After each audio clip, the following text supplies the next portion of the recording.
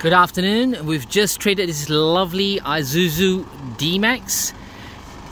I'm just going to do a walk around to show you what the car is and obviously we've just got this. It's currently running. It is the LS model. Literally just drove in from the trading department. Car as you can see will have the trays. I'll zoom into the tires shortly. It is from Adelaide as you can see that. There's a camera Anderson plugs, the tow bars there.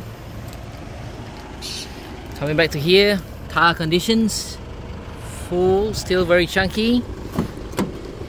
Showing the back of the car, I know it's a bit dirty, please excuse us, we will get it detailed very very clean and nice for you to see.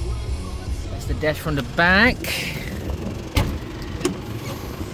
Coming on the front, just to indicate that it is a four-wheel drive with an automatic transmission radio kilometers on the clock is 134 currently. Set of keys in there side steps front tires are still in good condition. And last but not least is obviously got a steel bull bar I'll get Renee to send this video over to you and if you've got any questions feel free to give us a call back. Thank you